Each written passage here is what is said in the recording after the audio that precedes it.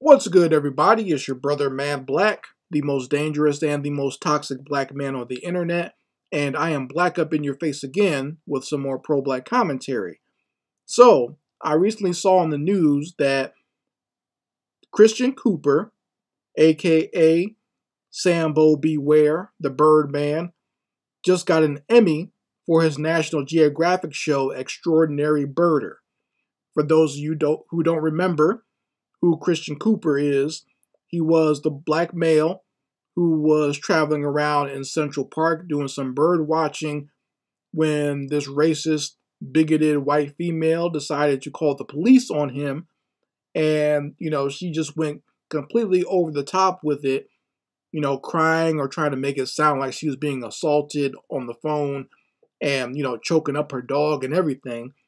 And it made the news back in 2020 and she wound up, I think she wound up losing her job. And I'm not sure if she actually faced any charges from the city, but I do know that Christian Cooper did not want to press any charges against her. You know, he's decided to stay out of it and he decided to make sure that she knew that he wasn't mad at her, right? He decided not to press any charges against her and, and not have her punished or said she didn't deserve to be punished. so basically, he was sending a dog whistle out there to to white people about how much he loved them and how docile a Negro he is.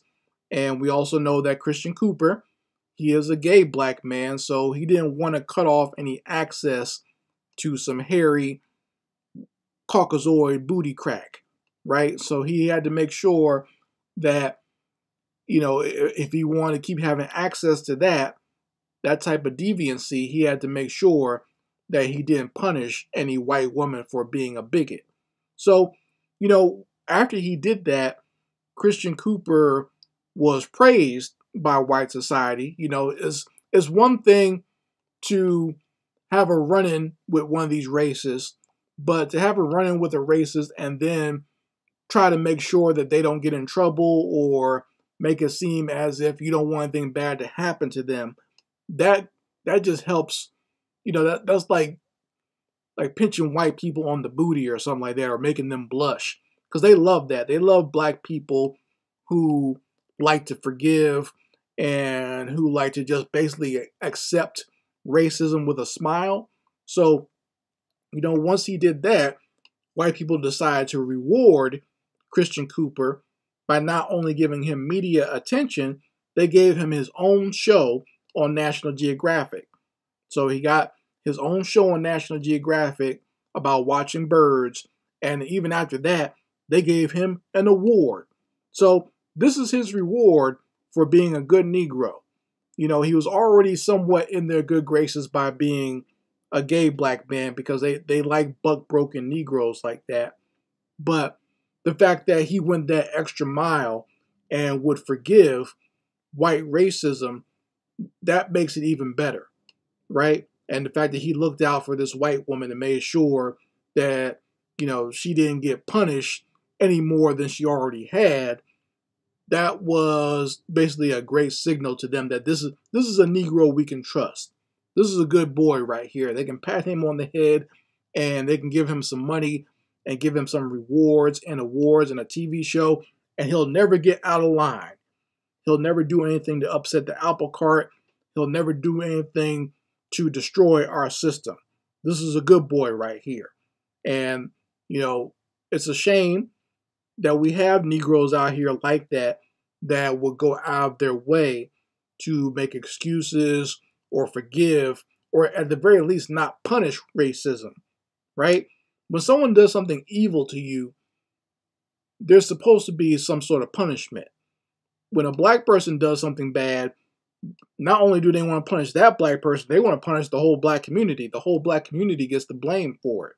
But when a white person does something, they go out of their way to try to make sure that this white person is not punished properly or that this white person doesn't get the full prosecution that they should and they don't get beat up on. And then you have these Negroes on top of that who always want to forgive or even go as far to say that there was no wrongdoing. You remember that story I did about that fool that nearly drowned because his white female friends, quote unquote, pushed him into a lake and he almost died and was in a coma.